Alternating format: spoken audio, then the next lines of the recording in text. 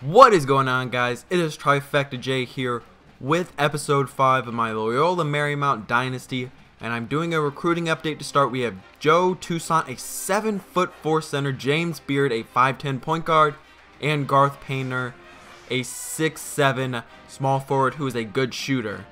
Now, in this episode, we're going to be taking on the Auburn Tigers in Auburn, so this should be a very interesting game one of three of our finals non-conference games. We finished with Auburn, North Carolina A&T, and then at home against Oregon State. So this should be a very interesting game. The power forward matchup is Meyers Mourner and Cinmeon Bowers. Bowers is built like a tank. We'll have to be able to see if Mourner can handle him down low.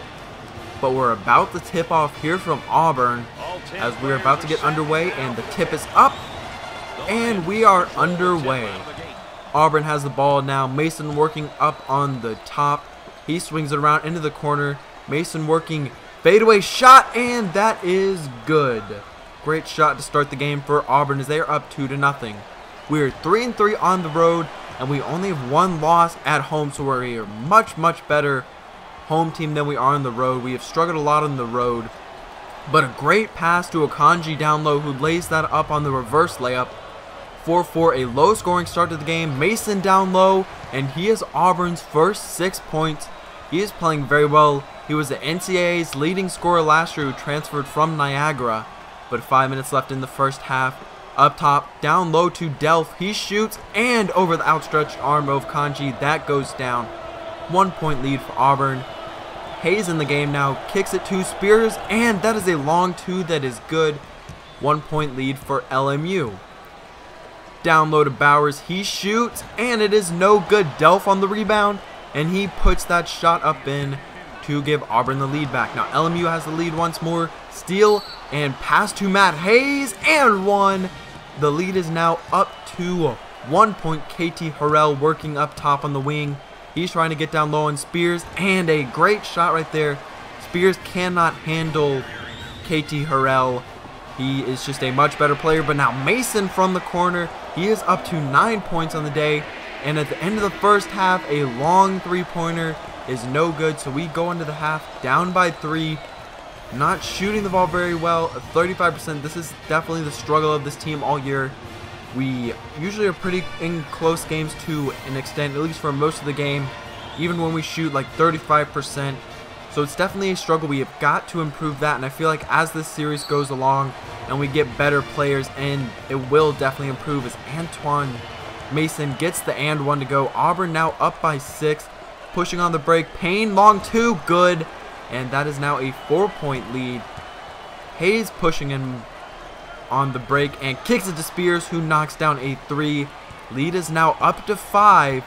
We're starting to make a comeback as pulling up Delph gets the offensive rebound as he has just been a beast on the boards. He out towers every single person on this team. So he is a force down low. But KT Harrell gets that shot in and gets it to go. Four minutes left in the second half. Into the corner for Mason. And the three ball is working for Auburn. As Mason is just showing you his offensive prowess. But Evan Payne, a long two. He gets that shot to go 10 point lead down low to Delph. He's working. And a great spinning shot is that fall as that ball rolls down and goes. Now Delph on the fast break showing you what he can do and that is somehow a continuation call. Not really sure how that counted as an and one but now the lead is 14. This game is pretty much over. But for three, Spears makes it an 11 point game trying to make it interesting. Inbound pass and that ball is stolen. Krakovic back dribbles and for three, lead is now down to eight. Eight seconds left. Hayes gets the ball, trying to push it up the floor. He pulls up for three, and it's good. The lead is now down to five, and we will get the ball, but that pretty much does it.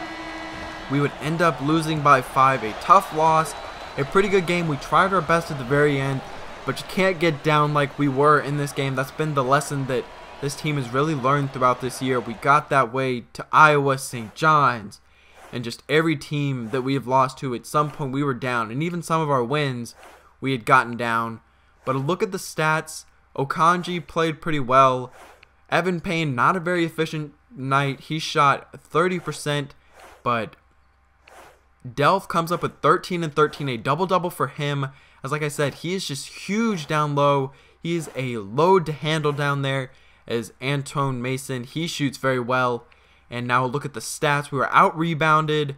Our three point percentage was not that bad, 33%. Hit six of them, but our free throw percentage was bad again. Now we beat North Carolina A&T by 36 points. So the games that against the lesser competition we are just destroying, but when we play against the up upper tier teams, Auburn's not an up tier team, but they're they're a good team. We struggle. But now our first home game in a very long time. Before we this is our last game before conference play. We're taking on the Oregon State Beavers, who are led by star point guard Gary Payton II. Yes, his dad is Gary Payton, so this should be a very interesting matchup. The matchup to watch in this game is Langston Morris and Evan Payne, the two starting shooting guards. This is a very young Oregon State team. We'll have to see how they can handle this pressure from Loyola Marymount. But it's about time to tip off as the ball is up and LMU wins the tip. Now LMU working the ball already two minutes into the game. Payne working gets a screen from DG. He shoots from the elbow and that shot is good. We are up by two early in this game. A very low scoring game to start out. But now down low, a great cut from Payton and that shot is good. So 6-6 halfway through the first half. And what a take from Oregon State as that is a great play right there. Now in the break once more, Payton driving on Krakovich, and it is good. He finished over Peter Herman and drove right past Krakovich. But now a great play from the big man goes with a falling away behind, turned around layup.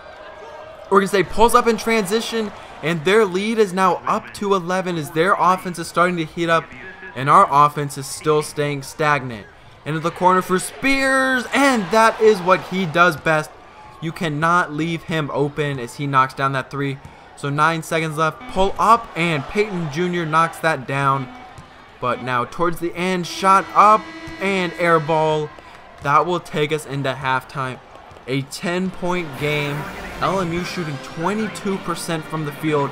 If we can just improve that slightly, we should be able to get back in this game. At one point, we were shooting 18%, so we at least have improved a little bit.